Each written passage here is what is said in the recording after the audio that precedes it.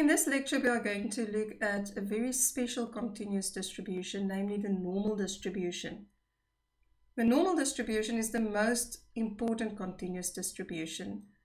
It describes the distribution of many variables that arise in the, in the everyday world. For example, if we measure the height or the weight of a group of people. Also, if you think of something like the marks achieved in a test by students or the annual sales of a firm. The normal distribution is also very important when we get to statistical inference because it describes the distribution of possible estimates of a population parameter. The density function for the normal distribution is given here on the slide and you will note that if x follows the normal distribution, x can take on any value from minus infinity to infinity. And also this density function has two parameters. It's got sigma, which is the standard deviation, and mu, which is the mean. Okay, so the properties of the normal distribution. These two parameters, mu, the mean, and sigma square, the variance, fully defines the distribution. The normal distribution is bell-shaped and symmetrical around the mean. And then approximately 68% of the total area below the curve lies between the limits mu minus sigma and mu plus sigma for the upper limit. So the mean minus one standard deviation for the lower limit, the mean plus one standard deviation for the upper limit. And then approximately 95% of the total area below the curve lies between the limits mu minus two standard deviations for the lower limit mu plus 2 standard deviations for the upper limit. And then approximately 99.7%, almost 100% of the total area below the curve lies within 3 standard deviations of the mean. The two tails of the normal distribution approach the horizontal axis but they never touch the axis. When we indicate that the random variable x follows the normal distribution, we make use of this notation. And we first of all give the mean as the first parameter, and then the second parameter uh, is the variance. So take note that the second parameter is not a standard deviation, it is the variance. So next we will look at the influence of these two parameters on the shape of my distribution. So what we have here is we've got a normal density with a mean of 0 and a standard deviation of 1 or a variance also of 1. And you can see that this distribution is symmetrical and bell-shaped.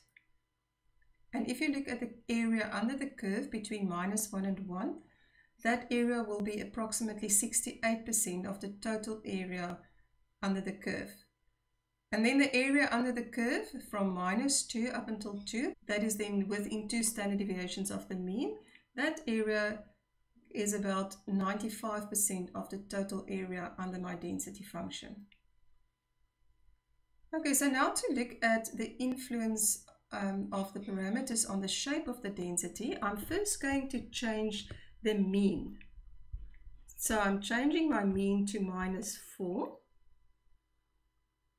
So now the blue density has a mean of 0 and a variance of 1. The red density has a mean of minus 4, so it shifted to the left, and it still has a variance of 1. So these two densities differ only um, with regard to the location, but the spread for these two densities are the same. So next I'm going to look at the influence of the second parameter, namely the variance.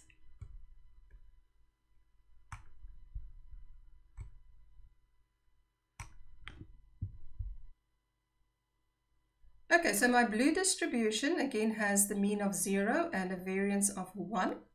My rate distribution has a mean of 0, so it's also symmetrical around 0, but it has a variance of 4. So there's more spread in the distribution for the red curve than for the blue one. Lastly, I'm going to change both the mean and the variance for my red curve.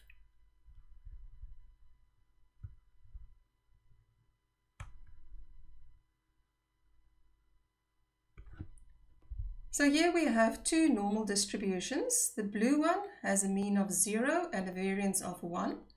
The red one has a mean of minus 4, therefore it lies to the left. And it's got a variance of 4, so there is more spread in the red curve than for the blue one. Now, if a normal distribution has a mean of 0 and a variance of 1, we call it the standard normal distribution. And a standard normal variable we always indicate by z. So z follow the normal distribution with a mean of 0 and a variance of 1. Any normal random variable x can be converted into the standard normal variable z. So suppose I've got a random variable x that follows a normal distribution with a mean of mu and a variance of sigma square. I can standardize this random variable by subtracting the mean and dividing by the standard deviation. So note that we divide by the standard deviation and not by the variance.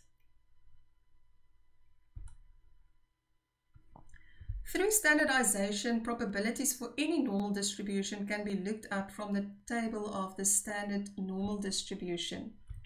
For example, if I have a random variable y that follows the normal distribution with a mean of minus 2 and a variance of 6.25, I can standardize this random variable by subtracting the mean of minus 2 and dividing by the standard deviation of 2.5. So the 2.5 is just the square root of my variance, which is 6.25. Now suppose, for example, that I want to find the probability that this random variable y is less than minus 4. Um, to find that probability, I will standardize. So how do I standardize? I take my y minus 4, I subtract from that the mean of minus 2, and I divide by the standard deviation of 2.5. So that is the same as the probability that a standard normal variable z is less than minus 0.8. And to illustrate that visually, on the left hand side here I have the density of my random variable y with a mean of minus 2 and a variance of 6.25. The probability that y is less than minus 4 is given by the blue shaded area under my curve. Now that area is exactly the same as the area, the blue shaded area on the right, where I have the density function of the standard normal distribution z, and I look at the area towards the left of minus 0.8. Okay, this is an example of the standard normal tables um, that we can use to find any probability for any normal distribution. And in the next lecture, we will look at how we can use these standard normal tables to find different probabilities.